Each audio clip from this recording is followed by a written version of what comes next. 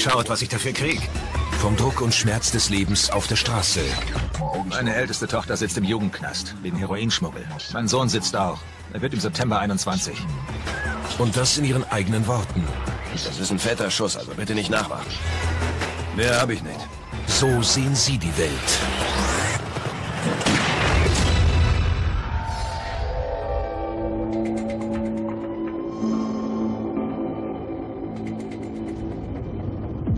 Die Arbeitswoche der Dealer beginnt donnerstags. Heute ist Donnerstag. Damit geht's los. Und darum weiß ich, heute liegt die Kohle auf der Straße. Crack-Dealer Siete will heute Schulden eintreiben. Da gibt's Typen, die kriegen am ersten und dritten Kohle von der Sozialversicherung wegen Arbeitsunfähigkeit oder was weiß ich woher. Ich kenne da welche, die kriegen Schecks und so. Die krall ich mir. Mache ich ja nicht zum ersten Mal. Nehmen wir mal an, die kriegen einen Scheck über 1000 Dollar, verstehst du? Und ich krieg raus, was die so an Rechnungen haben. Und dann mache ich den Druck. Und am ersten oder dritten oder 15. hole ich mir die Kohle. Ich meine, so läuft das hier, klar? Man muss ja nicht gleich alle abknallen. Ich zieh dem halt eins mit der Waffe über, kapiert? Siete ist gut im Geschäft. Trotzdem kommt ihm schon mal was dazwischen. Ein wichtiger Anruf zum Beispiel. Mein Kumpel Blackboy hat angerufen. Der sagt, die Crips dissen rum. Das kann Siete natürlich nicht auf sich sitzen lassen. Wir haben kein Problem mit den Crips, aber die können nicht einfach in unserem Revier auftauchen und hier Geschäfte machen. Die Crips loten die Grenzen aus. Siete muss handeln. Er fängt an, sie zu suchen. Die Straßen sind ein heißes Pflaster. Nein, 12. So heißen die Bullen in Atlanta. Am Straßenrand hocken drei Jungs, die rausgezogen wurden. Ich hab Dope im Wagen und eine Knarre und keinen Führerschein. Darum werde ich nervös, klar? Ich besorge mir einen Fahrer.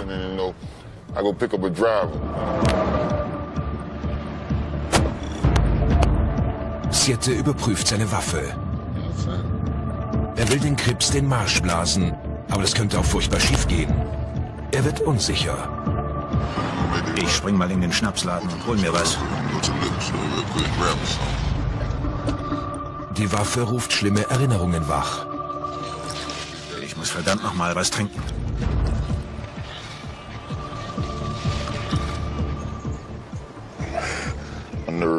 Meine Nerven sind schon lange nicht mehr die besten. Ich war 15, damals in den 90ern. Die haben meinen Kumpel June von meinen Augen abgeknallt. Und seither bin ich ein nervliches Wrack. Aber nachgeben will er auch nicht. Jetzt bin ich auf der Westside und suche da nach ihnen. Ich muss die jetzt echt schnell finden.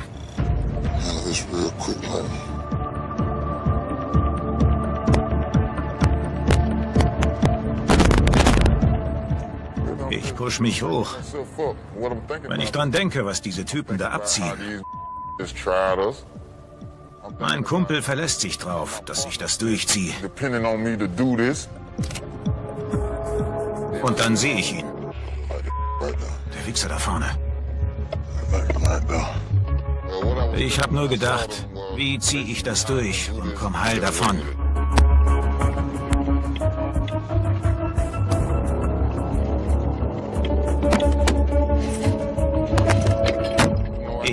Also aus und gehe erstmal da lang.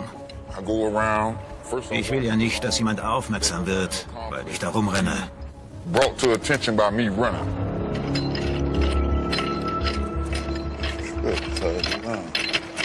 Ich check das Haus. Die Tür steht weit offen. Ob ich da drin zuschlagen kann?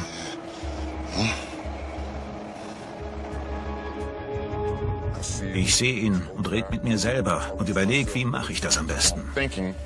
Immerhin ist es mitten am Tag.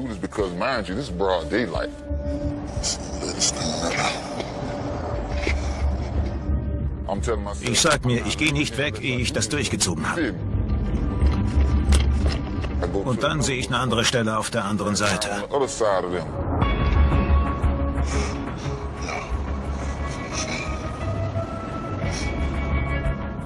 Die Luft ist rein. Ich mach ganz schnell und dann nix wie weg hier. Und. Los,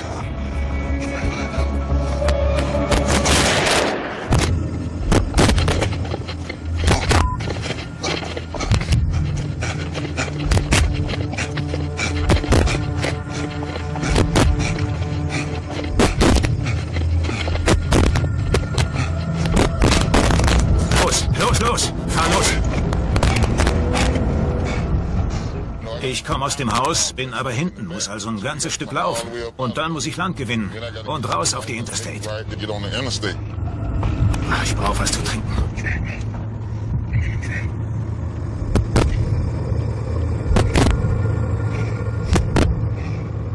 Oh Mann, ich hätte gerne eine zweite Chance. Aber ich mache das jetzt schon viel zu lang. Seit ich 14 bin. 14 years old. Ist immer schlimm, aber es gibt nur eine Sache, die mir echt wichtig ist. Meine Kids sollen nicht denselben Weg einschlagen wie ich. Die sollen bessere Menschen werden. Bessere Menschen als ich. Die Sorge um seine Kinder muss warten. Im Moment hat Siete größere Probleme. Hab ich wen getroffen? Sind die jetzt abgehauen? Was ist passiert? Habe ich keinen verletzt? Und sind die trotzdem weg? Weil das war eigentlich der Plan. Donnerstagnachmittag im geschäftigen New York City. Drogendealer-Boss Maus auf seinem täglichen Arbeitsweg. Er ist vorsichtig. Ich habe keinen festen Dienstplan. Ich fahre ja zufällig wo vorbei. Ich bleibe auf den Hauptstraßen. Wegen der weiß-blauen. Sicherheit ist das A und O für mich.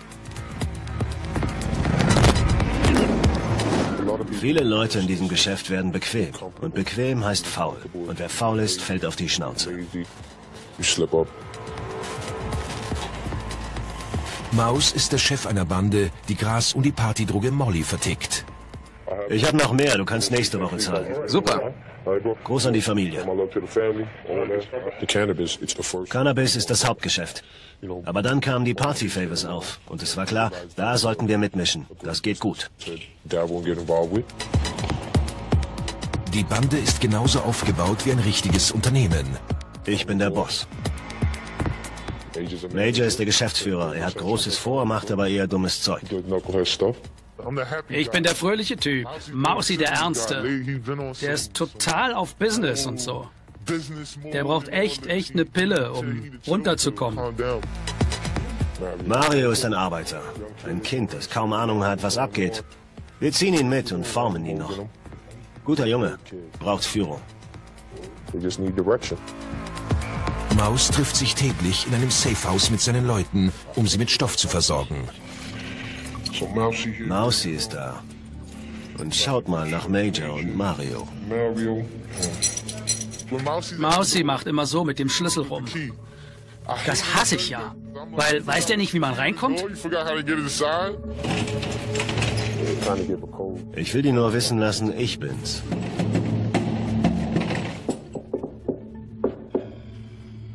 Wenn man dieses Klopfen hört, weiß man, der gehört zum Rudel. Wenn nicht, macht man eh nicht Hear auf.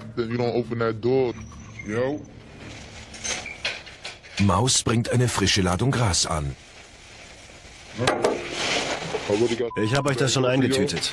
Müsste mindestens für einen Tag reichen. Wie viel ist das? Das sind 10 Ps. coming through. Das sollte wohl für heute reichen. Ihr wisst ja, donnerstags gehen die Party-Favors weg. Dann Schafft das jetzt mal raus, unter das Volk. Und wenn was ist, ruft ihr an, verstanden? Wie, du brauchst keinen mit? Erst die Arbeit. Klar.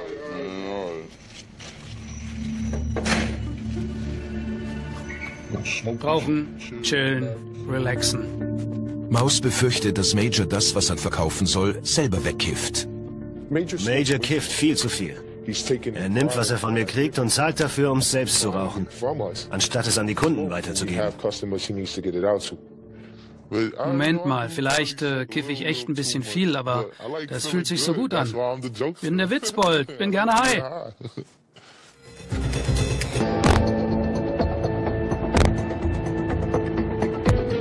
Die Truppe von Mrs. G besteht aus lauter Abhängigen. Mrs. G und Mr. G und ich, wir kennen uns schon so um die 15 Jahre. Wir haben unsere eigene Stammkundschaft. Und so fünf, sechs Mal pro Woche treffen wir uns, schmeißen unser Geld zusammen und beschaffen uns, was halt geht.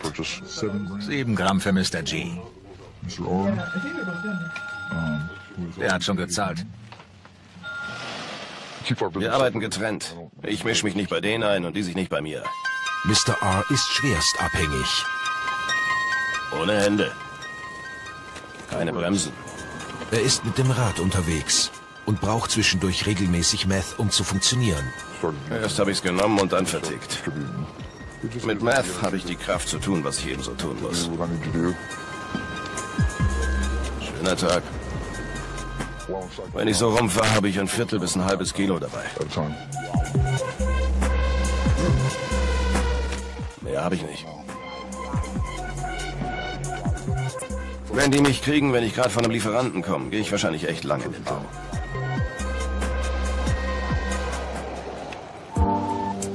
Doch nicht nur seine Abhängigkeit stellt ein Risiko dar. Um seiner Sucht gerecht zu werden, beklaut er andere Dealer. Darum kann er selbst nicht mehr dealen. Wir sind ein bisschen wie Kappa und Kappa. Ich hänge die meiste Zeit mit Dealern rum und er will Dealer in erster Linie ausrauben. Man kann nicht gleichzeitig ein Dieb und ein erfolgreicher Dealer sein. Sein durch die Droge unberechenbares Verhalten sorgt für Spannungen, die manchmal außer Kontrolle geraten. Du würdest doch alles tun, um dran zu kommen. Ja, da hast du recht. Es macht dich krank, wenn ich mal ein paar Kröten verdiene. Du hast mich doch. Du tust doch auch nur so, als wärst du mein Freund, damit du mir in die Suppe spucken kannst. Und dann tust du so, als wär's bloß ein Versehen. Denkst du das wirklich? Allmählich ja. Ich fühle mich betrogen. Im Drogengeschäft habe ich mir selbst den Ruf ruiniert. Die Leute mit Drogen wollen mich nicht mehr sehen. Wer mehr als vier Gramm dabei hat, lässt sich nicht mehr auf mich ein. Sie ist die einzige mit mehr, die sich noch mit mir trifft, weil sie weiß, dass ich sie liebe.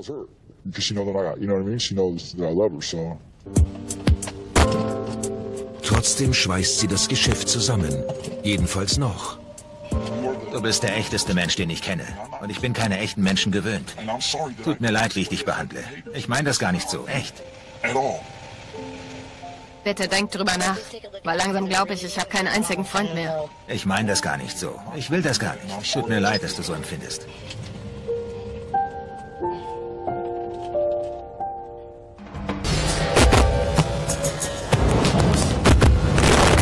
Am Freitagabend schiebt Major Nachtschicht. Er freut sich schon auf den Mix aus Arbeit und Vergnügen. Partydrogen gehen gut, darum gehe ich am Wochenende gern aus. Die Mädels sind ganz heiß drauf. Die lieben das Gefühl, das sie davon kriegen. Und sobald das nachlässt, wollen sie immer mehr und mehr davon. Darum brummt der Laden. Das Zeug macht total süchtig. Er vertickt Molly. Um Mitternacht hat er nichts mehr. Mit so einem Scheiß muss ich klarkommen. Wenn Mausi nichts mehr hat, habe ich keine Drogen mehr. Mausi ist nicht ans Telefon. Ich brauchte Partydrogen und musste mir die halt besorgen. Er kann nicht mehr warten und kauft woanders. Major macht sich selbstständig. Schaut mal, was ich da hab. Molly. Mausi bringt mich um, wenn ich's nehme. Wenn man es mit einem fremden Produkt versucht, ist das vielleicht nicht so stark. Das senkt unseren Marktwert. Das geht gar nicht. Aber ich habe was gebraucht. Mausi hat sich zu viel Zeit gelassen. Das hier ist ein Dub. Das heißt, das sind 20 schnelle Dollar. Insgesamt habe ich 500. Die Nacht gehört mir. Das habe ich schnell weg. Major verstößt gegen alle Regeln. Doch er hat nur das Geld im Sinn. Er betritt die neonerleuchteten Straßen.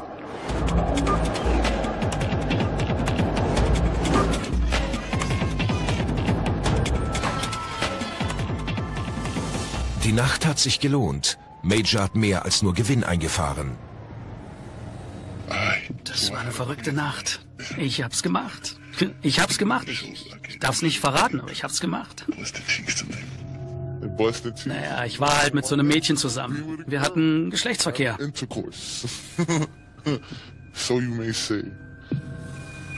Was ich gemacht habe? Ich habe die Tussi verkauft. Und das dafür gekriegt. Morgen Nacht wird so geil.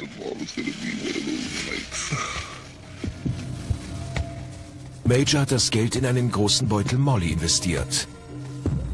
Maus macht sich allerdings Sorgen, dass Major leichtsinnig wird. Für mich ist das ein junger Typ, der zu schnell zu weit vorprescht. Ich habe ihm gegeben, womit er zurechtkommt.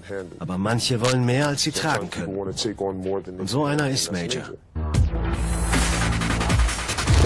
In Atlanta holt Siete seinen Fahrer ab.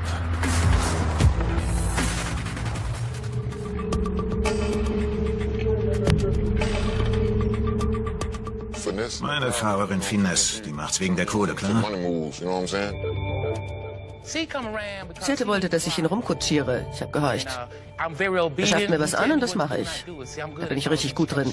Nur so kann ich als Frau in dieser Welt überleben. Allerdings ist in Sietes Welt nichts einfach. Finesse lebt in einem Bordell. Das ist ein Hubenhaus. Die Mädels kommen von der Straße. Das sind Prostituierte. Die drücken 10 Dollar für ein Zimmer ab und haben dann da drin Sex. Ich kümmere mich ums Haus. Kochen, putzen und schauen, dass alles sauber ist. Doch gibt es da ein Problem. Was gibt's, Pop? Was hast du da? Pop kann Siete nicht ausstehen. Hör mir gefälligst zu. Pop ist völlig durchgeknallt. Wenn der zu viel Bier trinkt, geht der auf alles und jeden los. Mach, was ich dir sage. Mai oder Ketchup? Ketchup, mach mein Essen fertig, bevor du gehst. Pop hält mich für seine Frau und ist auf jeden anderen Mann an meiner Seite eifersüchtig. Hm. Wenn du das nicht kochst, schiebe ich dir die verdammte Schüssel in den Arsch. Er will nicht, dass ich weggehe. Ich soll die ganze Zeit hier sein. Er ist ein besessener Kontrollfreak. Jetzt gehen die. Siete und Finesse machen sich auf den Weg. Ah. Die wissen, Pop vergisst nichts. Pop lässt mich nirgends hin. Wie jetzt? Ich darf nie aus der Scheißhütte raus.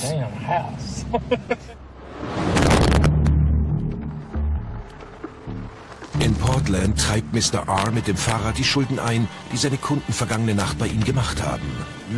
Normalerweise leih ich ja kein was. Und die haben auch nur einen Tag Zeit, um das zurückzuzahlen. Wenn die das nicht tun, hat das Konsequenzen.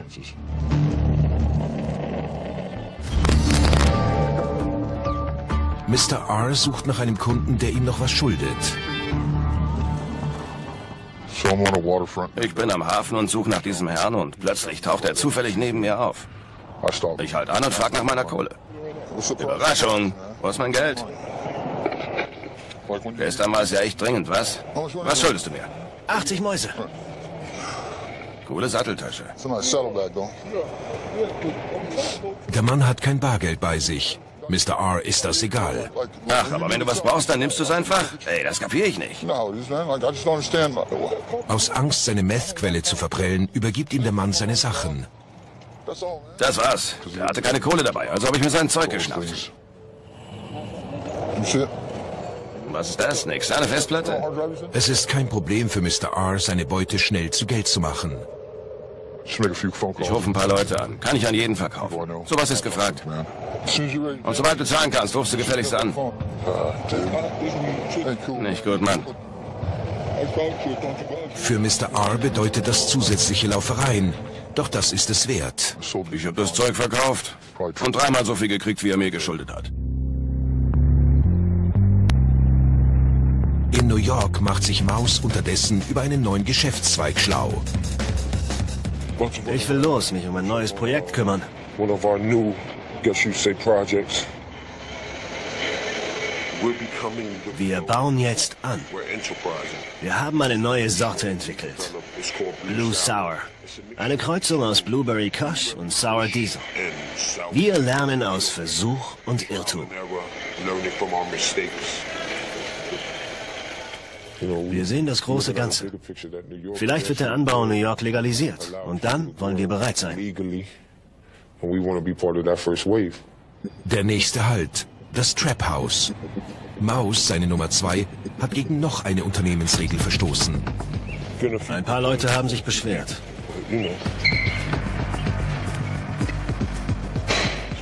Bin nur mal reingeschneit, um schnell mit ihm zu reden, ob alles fein ist.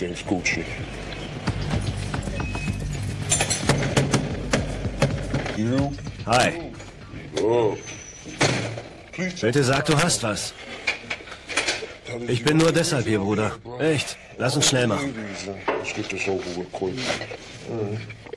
Das müsste dir doch für zwei Tage reichen. Los, schau's dir an. Ich will mir also gerade eine Tüte bauen, aber er will mir unbedingt noch einen Text reindrücken. Ich will mit dir reden. Jemand hat sich beschwert. Ich sag dir was. Du sahnst zu viel ab. Hör auf damit. Tu ich nicht. Absahnen bedeutet Betrug am Kunden. Ich zeig dir jetzt mal, wie wir das machen. Und darum haben wir Erfolg. Sieh her. Genau so muss deins ausschauen. Er macht fette Portionen. Ich tue immer nur gerade genug rein. Er macht sie froh, ich jetzt nicht so. Ich mach damit lieber Geld. Du gibst denen zu viel. Mach dir mal darüber keinen Kopf. Du sorgst nur dafür, dass alles glatt läuft. Und wenn ich dann keine Klagen höre, hast du auch kein Problem. Die Leute erwarten was Bestimmtes. Die Leute wissen, was sie von uns kriegen. Sie kennen die Menge und den Preis. Er meint, so halten wir unsere Kunden. Und dann läuft der Laden. Für mich sieht es nach einem Verlustgeschäft aus. Ich kann da mehr Profit rausholen. Und das hält er mir vor. Er kann das aber nur von Leuten haben, die sich beschweren, dass das Tütchen nicht so groß ist, wie sie es von ihm gewohnt sind. Denk dran, ich werde nicht immer hier sein. Ich hau bald ab. Und dann gibt's nichts mehr einfach so. Dann musst du es dir verdienen. Klar? Oh Mausi sagt immer, er macht das nicht bis in alle Ewigkeit und dass er mir das alles überlassen wird. Er behauptet, er hätte mich geformt. Er will mich formen, bis ich so bin wie er.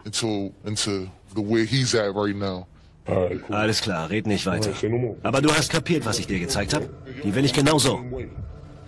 Schon gut. Ich habe auch so angefangen. Aber jetzt geben wir 100 Prozent. Darum sind wir, wer wir sind. In Atlanta erledigt Zierte die Samstagabendlieferungen.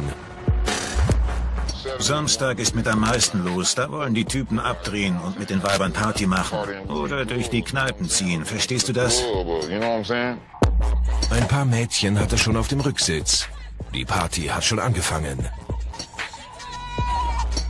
Die Weiber sind auf Molly. Die haben Musik aufgedreht und sind schon am Tanzen und so. Die sind schon fett dabei. Siete will seine Verkaufstour starten. Doch es kommt was dazwischen. Es gibt Ärger im Bordell. Ich fahre also zu Pop und gehe rein, nachdem er mir einen Ziegel aufs Auto gedroschen hat. Was redest du? Was ist denn los? Was soll das werden? Pop tobt. Er wird sein Messer rausholen. Weil keiner ihm Bier holt, dreht er total durch. Raus aus meinem Haus, verdammt nochmal! Dieser Samstagabend wird gerade ungemütlich. Hau endlich ab! Er hat ein Messer. Bordellmanager Pop ist sturzbetrunken und rasend vor Wut. Ich stech dich damit ab, Mann! Ich kann nicht zulassen, dass der mich absticht. Sowas hatte ich schon mal. Das war nicht schön. Sag ihm, er soll nicht. Was ist denn los? Hey, Leute. Was denn? Sag ihm, du willst doch gar nicht. Er liebt dich. Raus hier. Er glaubt, ich will was von Finesse. Das glaubt er von jedem, verstehst du? Er will doch nur helfen, Geld zu machen. Für dich. Mir egal, ich bin der Mann im Haus. Er war eifersüchtig. Er will nicht, dass ich was mit einem anderen mache. Was willst du? Ich bring dich um. Du killst mich nicht. Ich reiß dir den Arsch auf. Ich hab's verkackt. Ich bin sauer geworden. Er ist sauer geworden. Ach, komm. Er provoziert ihn. Was? Was? Hey, was willst du? Er reizt ihn und macht alles noch schlimmer. Ich bin auf Abstand geblieben und gleichzeitig habe ich ihn aber auch geärgert. Ah, feige Sau. Große Klappe, nichts dahinter. Was jetzt? Leg das hin.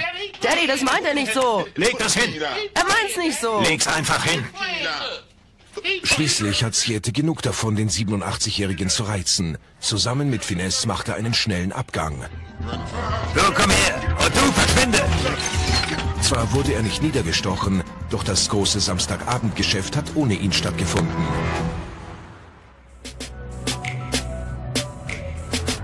Die Lebensumstände in seinem Viertel ziehen Siete runter. Das Geschäft ist völlig unberechenbar. Da braucht er zwischendurch mal eine Pause. Im Leben geht's nicht nur um Weiber und Striplokale und Saufen und so. Manchmal muss man auch einen Gang runterschalten können und so Familienkram machen. Siete fährt mit seiner Freundin zum Lookout Mountain, einem geschichtsträchtigen ehemaligen Kriegsschauplatz. Ich stehe auf Natur und ich stehe auf Geschichte. Da lerne ich gern was dazu. This is how I. Das ist meine Art abzuschalten. Ich habe zwar nicht viel Zeit für sowas, aber wenn ich's tue, genieße total. that. You know, Ich habe schon oft davon gehört. Da tobte im amerikanischen Bürgerkrieg eine Schlacht. Da gibt's eine Höhle. Und sowas gibt's in meinem Viertel nicht. Ich war noch nie in der Höhle. Ich will einfach nur mal in einer gewesen sein, kapiert? Einfach nur, um zu sagen, ich war da. Das interessiert mich halt. You know what I'm saying?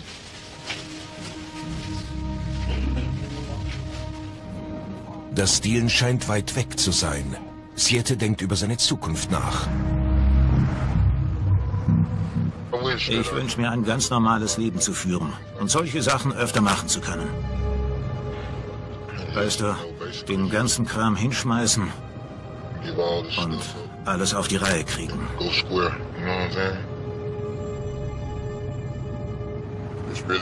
Ich habe mir so ein Leben echt nicht erträumt. Ich wollte mal was erreichen, ich hatte mal Ziele. Aber da, wo ich herkomme, da landet man halt irgendwo und muss zusehen, dass man irgendwie überlebt. Allerdings ist die nächste Woche auf der Straße schon in Sicht. Ist nur ein kurzer Ausflug. Ich muss schnell wieder zurück und sicherstellen, dass es in meinem kleinen Reich weiterläuft. Make sure that my little empire is running correctly.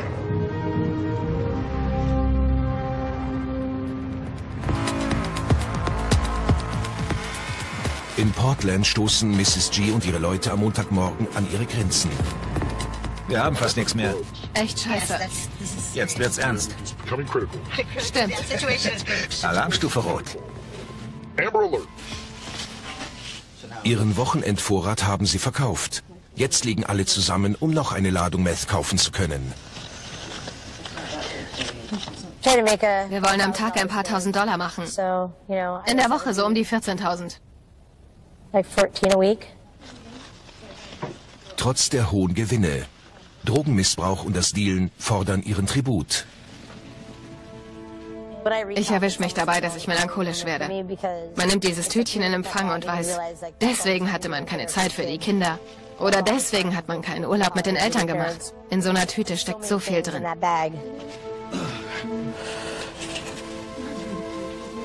Die Kinder von Mrs. und Mr. G sind in die elterlichen Fußstapfen getreten.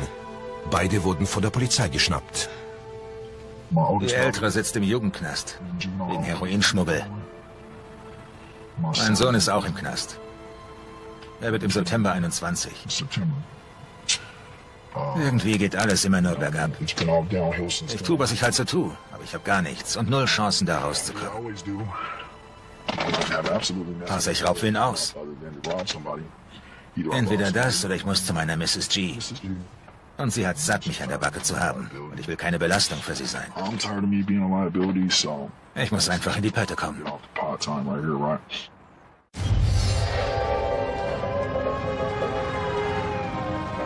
Mr. G ruft seinen Sohn im Gefängnis an, der Drogendealer bestohlen hat.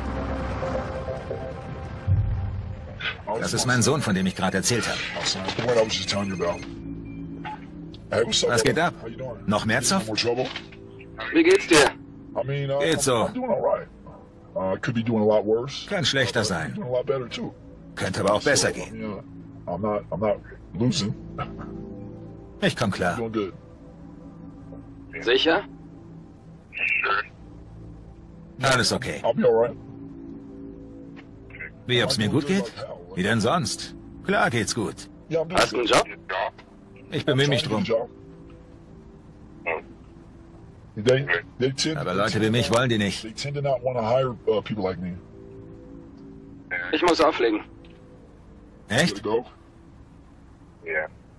Halt die Ohren steif. Wo ist Mom? Sie ist oben. Aha. Tschüss.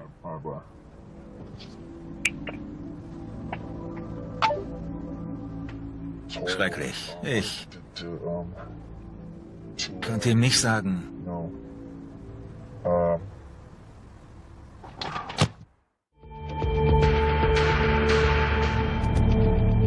Der New Yorker Wochenendboom ist vorbei. Schaut, was ich dafür krieg.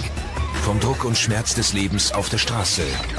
Meine älteste Tochter sitzt im Jugendknast wegen Heroinschmuggel. Mein Sohn sitzt auch. Er wird im September 21.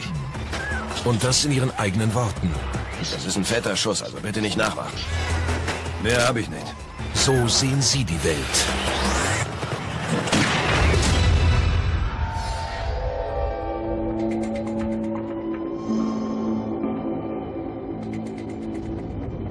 Die Arbeitswoche der Dealer beginnt donnerstags. Heute ist Donnerstag. Damit geht's los. Und darum weiß ich, heute liegt die Kohle auf der Straße. Crack-Dealer Siete will heute Schulden eintreiben. Da gibt's Typen, die kriegen am ersten und dritten Kohle von der Sozialversicherung wegen Arbeitsunfähigkeit oder was weiß ich woher. Ich kenne da welche, die kriegen Schecks und so. Die krall ich mir. Mache ich ja nicht zum ersten Mal. Nehmen wir mal an, die kriegen einen Scheck über 1000 Dollar, verstehst du?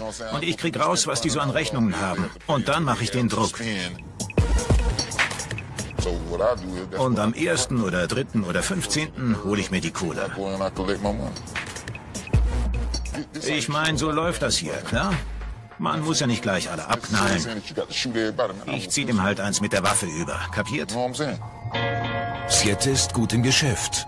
Trotzdem kommt ihm schon mal was dazwischen. Ein wichtiger Anruf zum Beispiel. Mein Kumpel Blackboy hat angerufen. Der sagt, die Crips dissen rum.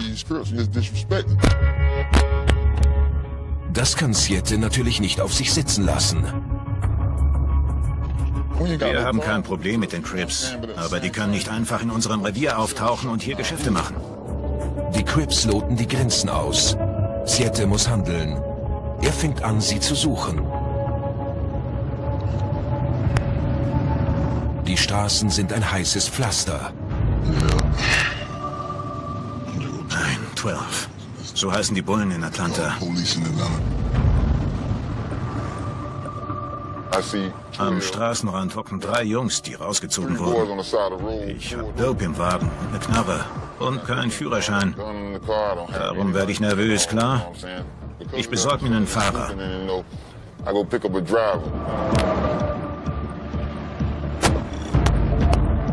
Siete überprüft seine Waffe. Er will den Krips den Marsch blasen, aber das könnte auch furchtbar schief gehen. Er wird unsicher. Ich spring mal in den Schnapsladen und hol mir was. Die Waffe ruft schlimme Erinnerungen wach. Ich muss verdammt noch mal was trinken.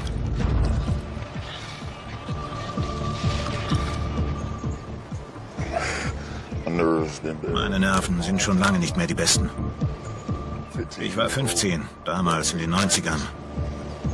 Die haben meinen Kumpel June vor meinen Augen abgeknallt. Und seither bin ich ein nervliches Wrack. Aber nachgeben will er auch nicht. Jetzt bin ich auf der Westside und suche da nach ihnen. Ich muss die jetzt echt schnell finden.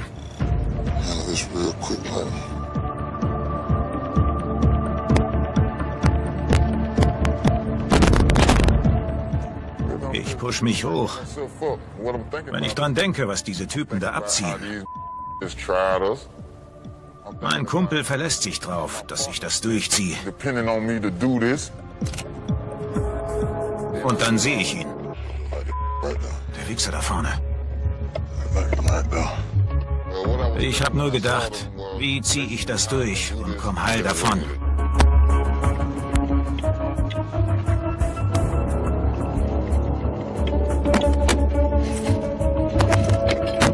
Ich steig also aus und gehe erstmal da lang. Ich will ja nicht, dass jemand aufmerksam wird, weil ich da rumrenne.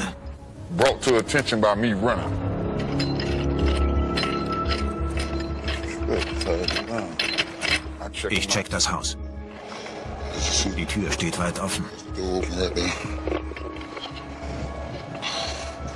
Ob ich da drin zuschlagen kann?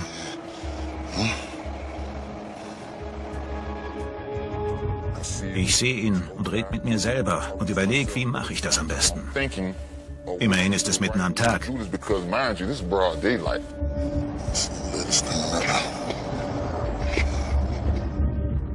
Ich sag mir, ich gehe nicht weg, ehe ich das durchgezogen habe. Und dann sehe ich eine andere Stelle auf der anderen Seite.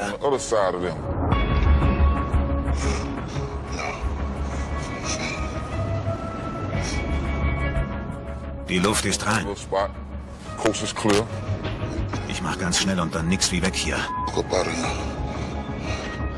Und los.